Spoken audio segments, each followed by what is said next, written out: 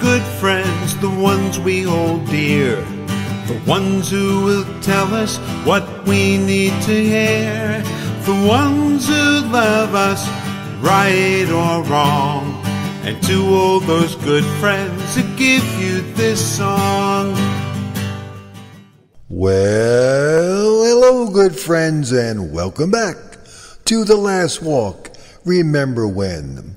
With your host, Ron Baumbach.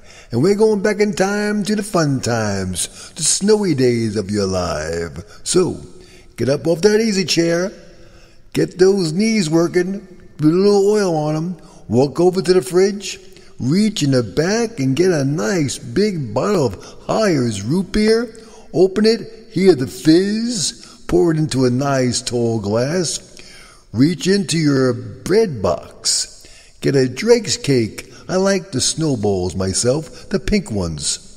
Sit back in your easy chair, turn on your lava lamp, close your eyes, get ready. The last walk is back.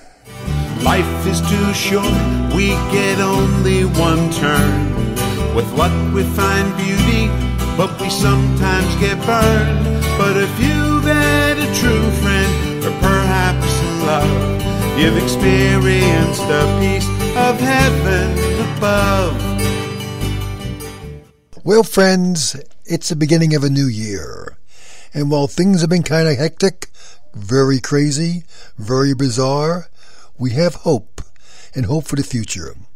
And with that, my good buddy Paul, Paul Casone, the singer of Here's the Good Friends, has a song for us as we start our journey in 2021.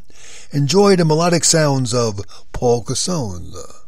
Well, hey there, Happy New Year. This is my first recording of the new year. Decided to do something with some optimism called I Can See Clearly Now by Johnny Nash. Always liked this tune, and so I started working on it today.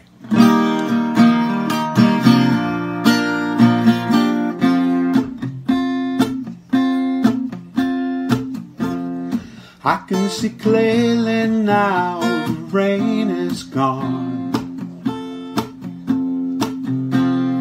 I can see all obstacles in my way. Gone are the dark clouds that had me blind. It's gonna be a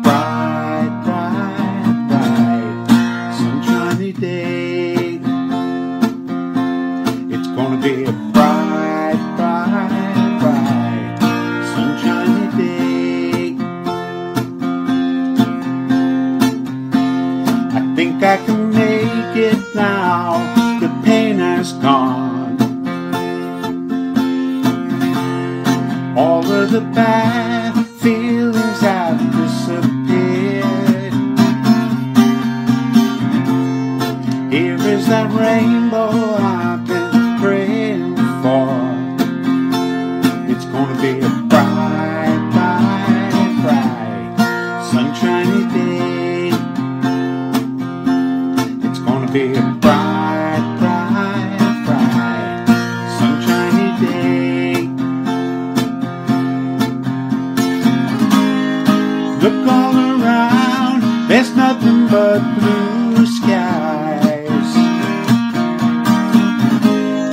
Looks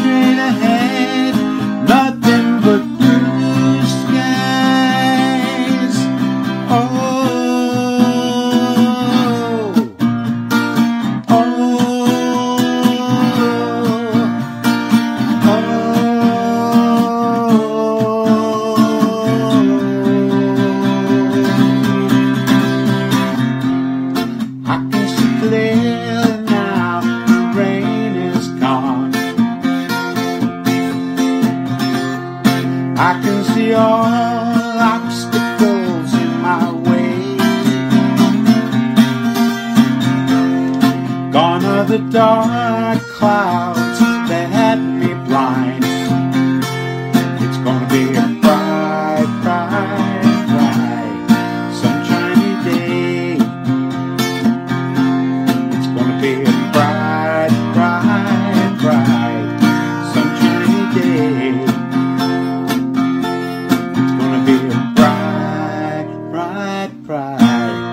sunshiny day. Okay, hope it is a bright, sunshiny day for you. Take care. Bye. It's winter time in Long Island. It's winter time in America.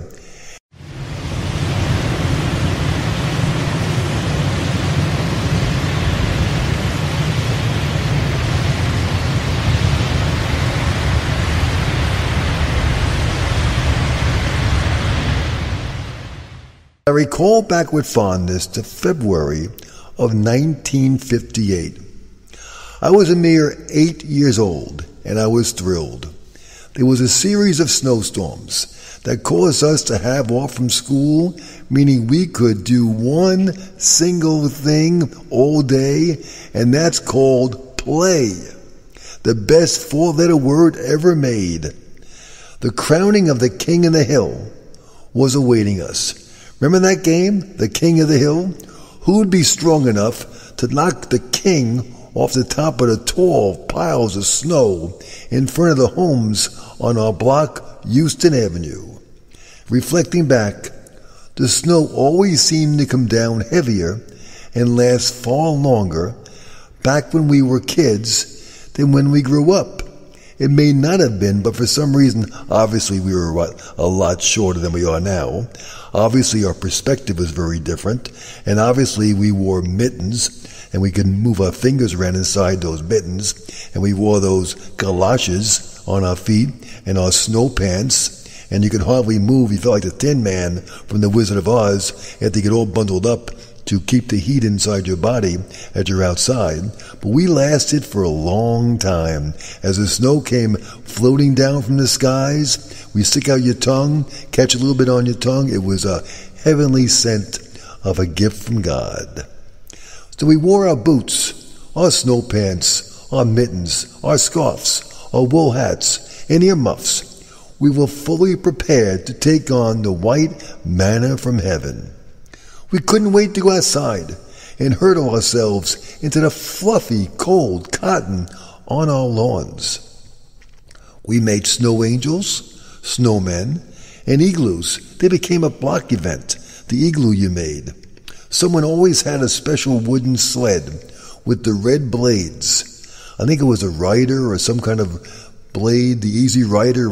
Somebody out there knows that we would run and slide down the street on this incredible, incredible ice machine that we could ride down. It was a two-legged, two-armed, two-legged thing. You hold down the front, had a handle. You turn it, and you could make it twist and turn.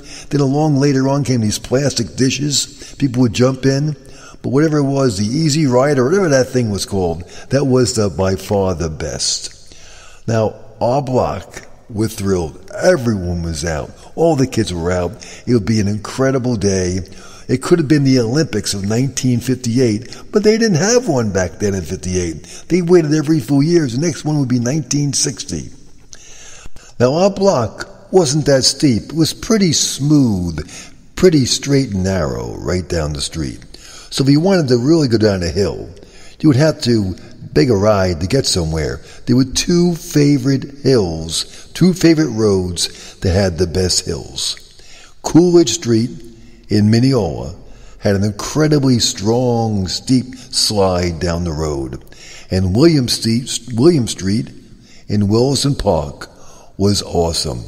Those were the hills you wanted to go on and take your sled down those incredible hills and challenge your friends and family to who can make it down the hill the first. It was fun. Oh, those were the days. But before we could go out and play, there was always work to be done. Now, nobody back then had snow blowers, the electric ones or gas ones, none of that stuff. Nobody had a snowplow. Nobody had hired help to shovel them out from the winter tundra.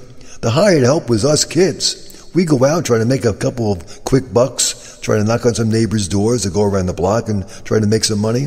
It was a family affair. To grab a shovel, go out and try to get your own driveway cleaned out, your walk cleaned out, and most importantly, your stoop. Make sure that thing was clean as a whistle. You took a shovel, a pick, or a spade, You try to chop down, get rid of all that ice that was underneath the snow. For some reason, it always stayed underneath and it got harder and harder and thicker and thicker and slippier. If that's a word, slippier? I don't know, I just made a new word up. Anyway, so the big thing was to try to get rid of the ice that was underneath the snow. And that was a fun arm wrestling event.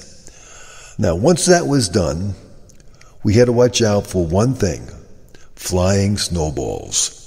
Now, they were fun filled events and usually really very harmless.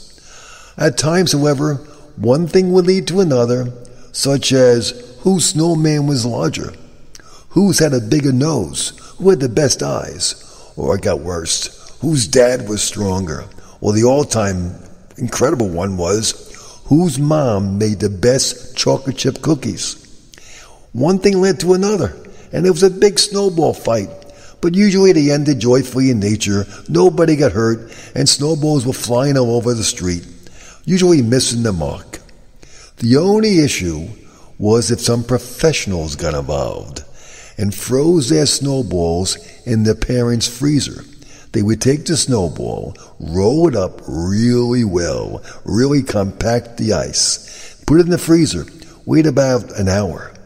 Then these clowns would come outside and start flinging these pieces of chunks, blocks of ice. And once they did, well, guess what? They became the target, the solitary target. And the game, my friend, soon ended when they came running back in the house, never to do it again. Life is too short, we get only one turn. With luck we find beauty, but we sometimes get burned. But if you've had a true friend, or perhaps love, you've experienced the peace of heaven above. Now we would ice skate, or attempt to ice skate, at a place called Perks Pond, up, or some people called it Herrick's Pond. We also went to the Mineola Library tennis court, which would be iced to form a nice rink. Now, if we wanted to go really big time, we could actually pay to skate at a place called Skateland. That is, of course, if the one and only New York Rangers were not practicing, since that was their official practice rink. Sometimes we just went there and watched. Watched them practice for free. It was a real thrill. And my favorite player to watch going around the, the rink was number seven. Number seven was Rod Gilbert, whom I believe back then was the only Ranger to have scored over 1,000 points in their entire Ranger career. Rod was my hero because we shared a similar background.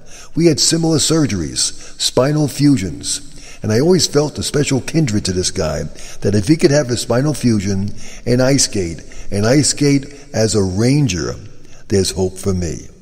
But I never made it to the ice. I made it to the ice. I usually made it on the ice. Now, later that year of 1958, the New York Giants football team played in the cold tundra of Yankee Stadium. They were now the only New York Giants team left in New York since the Dodgers and Giants left the baseball teams, sadly moved away to the warm, sunny climate of California the previous year, 1957. So the football giants who still remain were the only giants left in the city.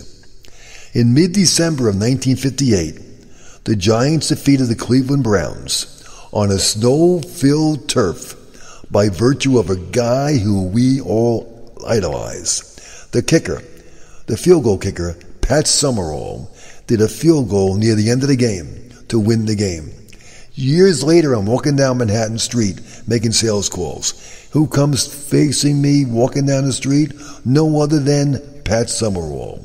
I was like, that is the guy who won the game in 1958. Pat Summerall, who went on to a great career as a broadcaster for football and on CBS. Anyway, when Pat won that game, New York went ecstatic. The field was covered with snow and enthusiastic celebrating players. It was unreal. Two weeks later, in what is now called the greatest game ever played, the New York Giants lost to the Baltimore Colts in one of the very first games ever to be broadcasted via TV television as it is to the entire nation, except for New York, our hometown, where it was blacked out. You believe that? There's all snow on the ground. The Giants are in this exciting game. It's a national championship great game, the greatest game ever played, and we couldn't see it on TV. But thanks to the miracle radio and the credible voice, I think it was Marty Glickman or Bob Wolff, one of those iconic great announcers, we got to see, quote unquote, the game on the radio. A tremendous game. And once it was over, what do you think we did? We went outside, it was snowing. Gotta get my sled. Let's go play in the snow. The Giants didn't win, but it was a great game. Oh, I've been so lucky and I've been so blessed. In spite of my failings, I've found success. For I've known love and I've known good times. And I have known friendship and written some rhymes. Now, years later, we got our vengeance back against Baltimore Colts. It wasn't the Giants, though, it was the New York Jets in Super Bowl number three when we got together and they beat them. Weeb Ewbank and Joe Namath, Broadway Joe, beat the Baltimore Colts.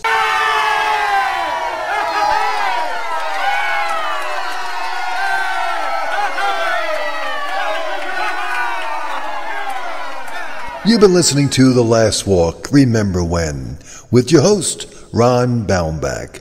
And the song you've been hearing has been Here's to Good Friends, written, sung, and composed by our good friend Paul Casone. And a special thanks goes out to my great friend Mike from his studios in his basement in the state of Tennessee for all the hard work on making our voice and production sound so much better. The Last Walk on a Block is available on Amazon.com and BarnesandNoble.com. It's in Nook, print and Kindle versions. In the meantime, have a great week. See you next time on The Last Walk. Remember when.